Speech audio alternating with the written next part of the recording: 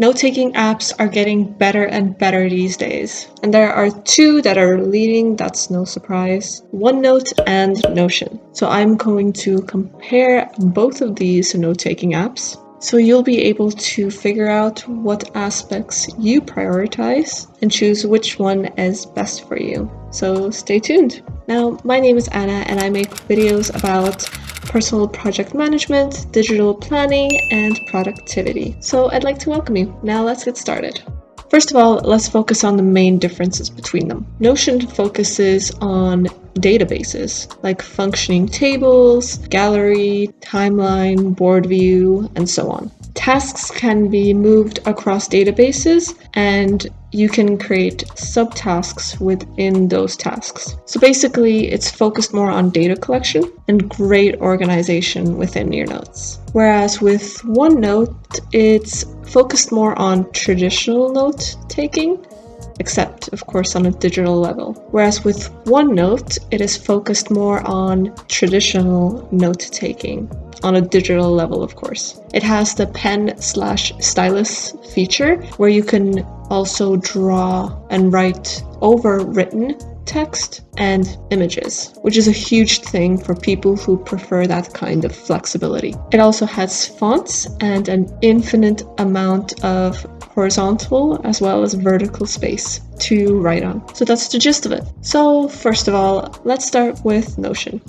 So the pros with Notion are databases, which is so beneficial, what they're known for. You can link sub pages and create create subpages within pages. It has a handy sidebar on the mobile app. It has more structure, which can be considered a pro or a con depending on what kind of person you are. To-dos can be drag and dropped into databases, and it has great spreadsheet functionality when it comes to a note taking app. Now, the cons, however, are there's no offline access. So if you're a person who doesn't have data on their phone and you want to access your notes when you're offline, this will be a problem. You can't draw with a stylus. Also the fonts.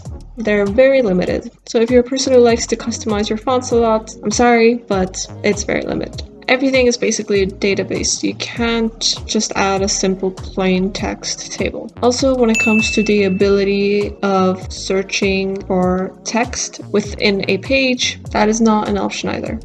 Now, when it comes to OneNote, so first of all, the pros. I have to mention this because this is the way I actually found out about OneNote was that they have a free drawing option. If you're a stylus user or you have a tablet and you like to draw graphs and basically have a more traditional way of writing, then this is a huge plus. Now they have lots of fonts as well and they have offline access. When it comes to their membership, it's just completely free. It also supports handwriting recognition if you're into that and you use that kind of feature. There is also a password protection option for your sectors of your notebooks, as well as the ability to have text written everywhere and anywhere, and how the page is infinite vertically as well as horizontally. Now, when it comes to the cons, first of all, the OneNote app lacks a sidebar. However, from my personal experience, comparing the OneNote app to the Notion app, I prefer the OneNote app more. It also has no databases because that's not the focus of this app. And unlike Notion, it does not have any integrations because Notion has a lot of options to integrate with other apps, whereas OneNote, not at all. And when it comes to the table option, it is very, very very basic. And yeah, if you prefer more of a structure, OneNote is definitely more messy looking, I'd say. At the end of the day, these two apps are very different from each other with different priorities, so it depends on what your preferences are. So, in summary, I'd say that Notion is for someone who prefers more structure and more data collection and organization. And maybe like a mini stepping stone towards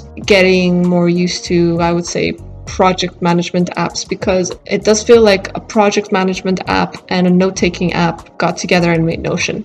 That's what it feels like to me. Whereas with OneNote, it's more for a person who loves creative freedom and the option to customize a lot and are more traditional when it comes to their note taking. For example, a stylus. Or they're just trying to go a more digital route and they were a big note taker when using physical notebooks. I hope this video made your decision a little easier. Let me preface by saying that both of these apps are great for planning and organizing your life. I have playlists for both planning in OneNote and planning in Notion if you'd like more tips on how to use either of the apps. Which one do you prefer, OneNote or Notion, and why? I'd love to get your opinions. If this video was helpful to you in any way, please give it a like and subscribe for more content like this.